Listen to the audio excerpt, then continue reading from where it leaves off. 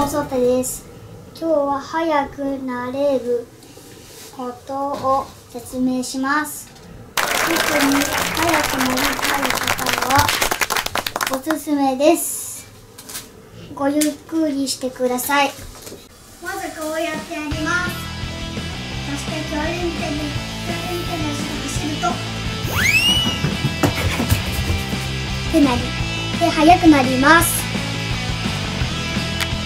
は第1回目のお知らせは説明。説明は なんだよ。